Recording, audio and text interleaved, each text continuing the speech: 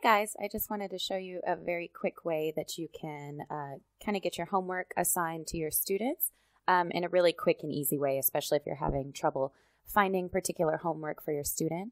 Um, so if I just go up to my NoPay and um, I'm going to fill out the assessment draft. Um, so basically I save the draft, uh, you know, earlier on and then I go in and get some homework for them. Um, basically, some of my students, uh, most of my students, to be honest, are quite low level.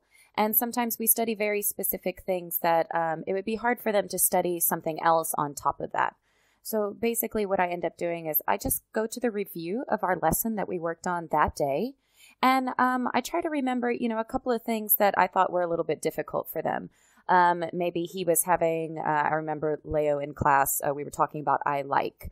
So, um, you know, we were working on that kind of structure there. Now, he had, he was fine with cake, juice, milk, and water, but he kept kind of forgetting the word bread. Um, so, what I can do is I can pick out uh, something called snipping tool.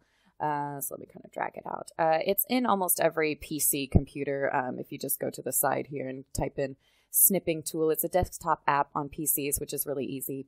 Um, and I just basically uh, do a new snip and I can just take this right here and I can just do bread if I like, or I can do the entire vocabulary set. Uh, what's easy about this is I know what the kids um, kind of need to work on.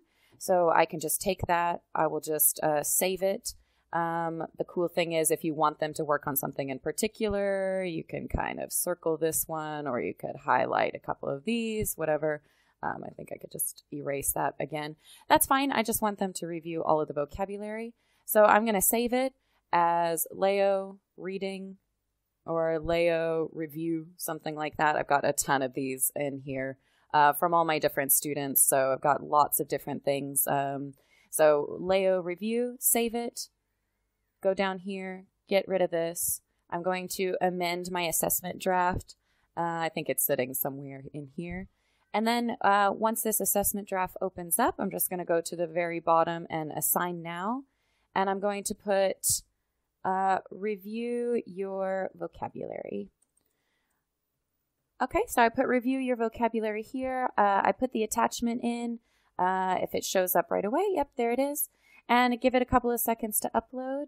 Um, and then basically what I do right here, um, I'll actually go ahead and just copy it from what um, what I've done. Now, I know a lot of the students are really busy and the parents don't always have time to print out things or to show that they've done the homework. So, what I do is I just say, when you've completed your homework with your parents, you can reply with OK to get your stars. Wonderful job today.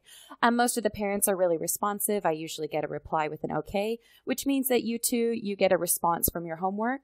And it's not something too complicated for the student that they're able to do really quickly right before class or on a day off, say on a Saturday, a couple of days before their class. So then I hit uh, submit. Oh, I'm not finished with my uh, assessment yet, but then that's it. So that's a really good and easy way to um, basically get the 300 points from submitting the homework. So I hope that's helpful, and I hope to see you guys next time on katteacher.com.